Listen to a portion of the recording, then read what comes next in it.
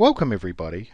In this video we're going to use the Metropolis algorithm to generate a distribution of energy states in a system that's given by the Boltzmann distribution. Now the system that we're going to consider is called the isothermal atmosphere. Basically it's an idealization of the real atmosphere um, and the two simplifications are really that we're going to imagine only a single component, nitrogen gas, and that the atmosphere has a constant temperature throughout, so that it's isothermal.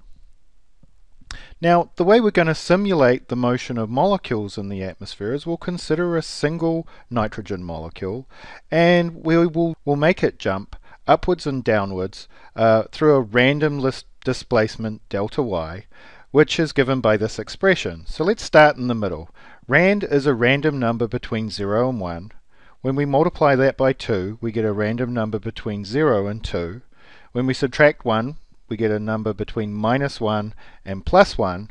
And when we multiply by the step size s, we get a number between minus s and plus s. So our molecules are going to jump uh, a random distance between uh, plus s upwards and minus s downwards.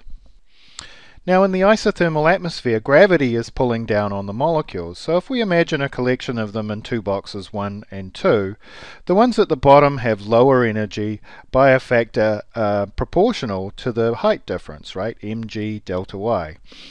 So ones jumping this way by thermal diffusion have a harder time whereas the ones at the top in box 2 can just fall down the slope. And this is codified in our simulation by um, a factor which is called a Boltzmann factor, and we're calling that Boltzmann factor epsilon, the Greek letter E, and if you have trouble with the Greek letters, there's another video in this sequence called The Greek Letters Go Green. So check that out if you have trouble with any of these letters, like psi. The Boltzmann factor is given by an exponential expression of this dimensionless energy delta psi. So delta psi is a dimensionless energy. The Boltzmann factor is e to the minus of that energy, and this energy is actually a ratio of two energies. mg delta y is the potential energy difference going up a distance delta y in the gravitational field, and kb times t is the Boltzmann's constant times temperature, which is a thermal energy. So we have a gravitational potential energy divided by a thermal energy.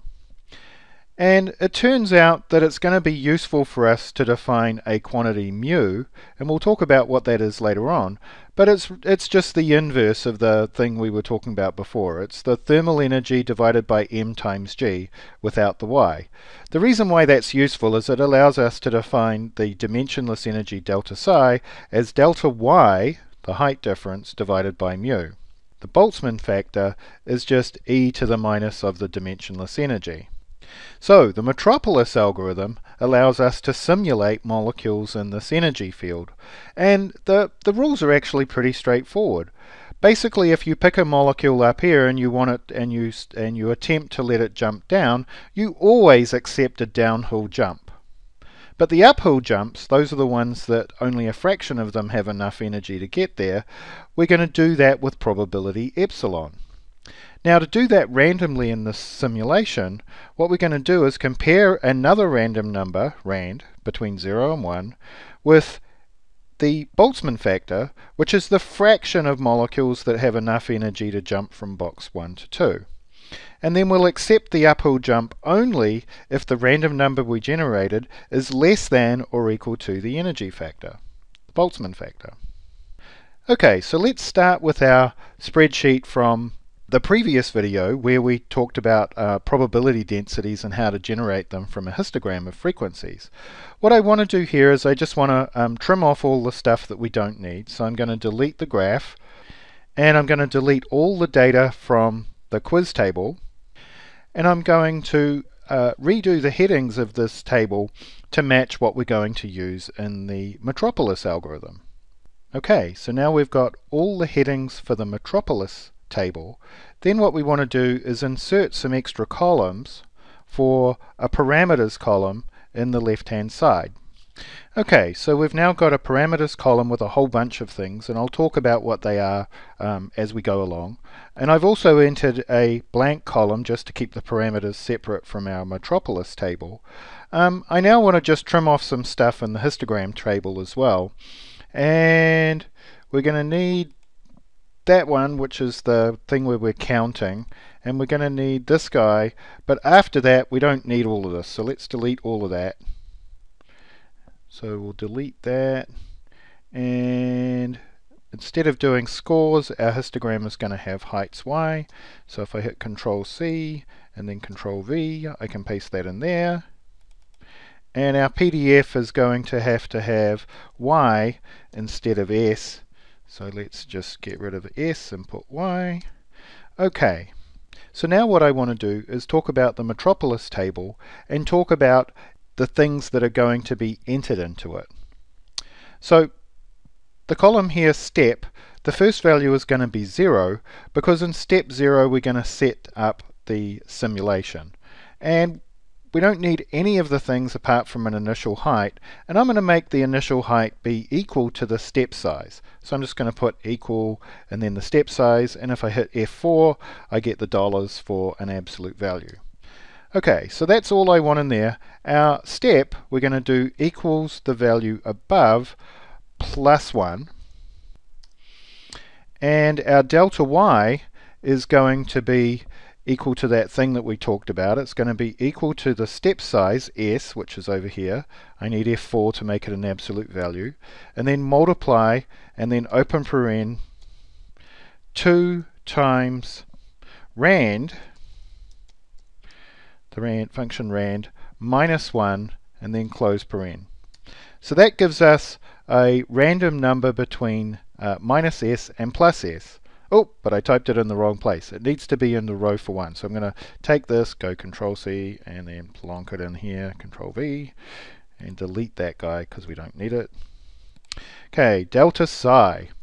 So delta psi is just going to be equal to delta y divided by our function, our value mu, which is here in the parameters table. Let me hit F4 to make that an absolute address. And then let me just show you how I calculated mu. So mu down here is calculated using the formula that we talked about, kb times t divided by mg. Okay, so that's that. Then we need to calculate our epsilon, which is just equal to the exponential function, and I need to type exp, minus uh, our dimensionless energy, close parens. So that gives us our fraction, which is a number between 0 and 1. And then what we need to do is calculate the trial value of the height. And the way to do this is that it's going to be equal to, and now we need to do a conditional. The conditional is if and if I open up, it's if the random number between 0 and 1 is less than or equal to epsilon. If that's true, the thing after the comma is going to be entered. So it's going to be the value of y is going to be the old value plus delta y. Otherwise, the value that's going to be entered into this cell is the one that I'm typing in now, which is just the old value. So let's hit enter. Oh, and the mistake that I got was that some for some reason that I didn't show up. Okay, so let's see. Let's click in here. So we have if the random number that we generate is less than or equal to epsilon, right, the blue thing, then I want the value in this cell for y trial to be the old value of y plus the delta y that we're considering. Then the last thing I want to do is actually calculate the value of y. And this is actually pretty straightforward. What we're going to do is put in here if if the new value of y is less than 0 then I want to use the old value, right? Because we can't have a height that's less than ground height. So if, if we do happen to try to go into the ground, we're going to say stay where we were. So that's what I'm typing in now. And then the other choice is that if it's not less than zero, then we have a valid height and I want to use it. Okay, so now I've got this and what I want to do is I want to copy this and I think this time I'm going to do 10,000. So now I have 10,000 values of the height. Now what I want to do is I want to count them. And in our histogram we have stuff. Now it turns out that the bin that I want to use, well this should actually have units in it. So the bin is actually going to be height. So I'm going to put meters next to it to remind me that it's a height. And our bins are going to be 500 meters. So let's type in 500. And we're going to start at zero. And so that's good. And then the thing here, that's going to be the value that we started with and then this is going to be the the value plus the bin height that we just did. So that's good too. Here we're going to calculate the frequency but one of the problems that I have here is that I'm starting at zero which I don't want to do. So I want to make that number there bigger by one. So I'm going to hit delete and type 4 and this 6002 I actually want it to be the number for the last row in our spreadsheet, which is row 10,003, which is this last one. So I'm going to change 6002 to 10,003. So 10, and the same here, I want this to be 10,003, 10,003, 10,003, and I want that to be H4 as well. So delete and 4. So there we go. So we're now counting how many times in this column, right? So let's have a look. This column that we're getting a number between 0 and 500. And then the next row after that, we're going to make it equal to the value above. And here we have our probability density function, which I need to correct because we're not got 6,000, we now have 10,000 values.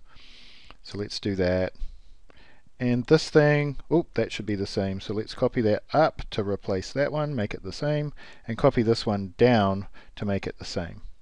Okay, so we now have that. What I want to do now is to extend this, and remember because this histogram table has steps in it, we need to copy two at a time. And I need to copy that down, and it turns out I probably want to get to about 50,000 so we now have a histogram table that's recorded all of the data that we generated with our Metropolis Monte Carlo method. So let's plot that.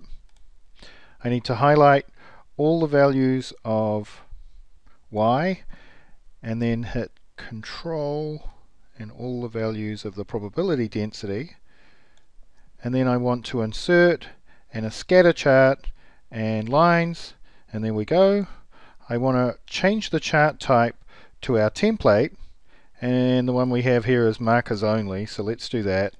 But I don't want markers. What I actually want are lines so let's do that. Hit OK. So I now have a nice uh, line graph and actually this vertical line is a little bit distracting so I'm going to get rid of that. And I can do that by moving the graph over and then just pulling down on these two it brings it down and gets rid of that. So that's good. I'm going to fill in this chart with all the num all the names for the axes. So the height of the nitrogen molecule in meters and we're using the letter y. So the probability density P of y on the y-axis and note that this has units of 1 over meters so that when you multiply this by that you end up with something with no units. Then we want to tidy up the axes. So that's the x-axis going out to 50,000. And we need a title, Boltzmann distribution of the isothermal atmosphere. And the last thing I want to do is to select data and put in a label for this. And let's call this, okay, so when I click in a blank cell and hit delete, we now have a live probability density function um, generated by our Metropolis sampling method of the isothermal atmosphere. Let me add a table over here. The distribution that we get from the simulation actually matches pretty nicely the prediction from the Boltzmann distribution, which is an exponential um, decay. Let's just check to see what our plan was. Our plan was to use the Metropolis algorithm to generate the Boltzmann distribution, which we just did, and we showed that it worked. So after I finish this video, I'll post it on the website for this project, circle4.com slash biophysics, and you should look for the videos link near the top of the page.